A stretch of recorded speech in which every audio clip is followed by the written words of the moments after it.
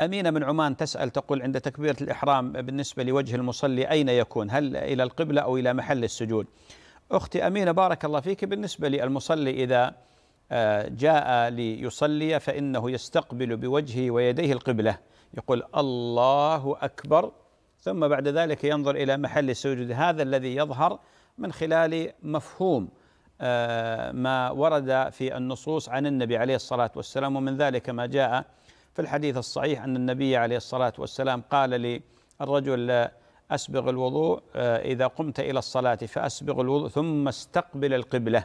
استقبل القبلة واستقبال القبلة يكون بكليتي الإنسان بيديه وبوجهه ويكون طريقة اليدين مضمومة الأصابع وليس مفرقة. بعض الناس يكبر هكذا. لا هذا ليس من السنة.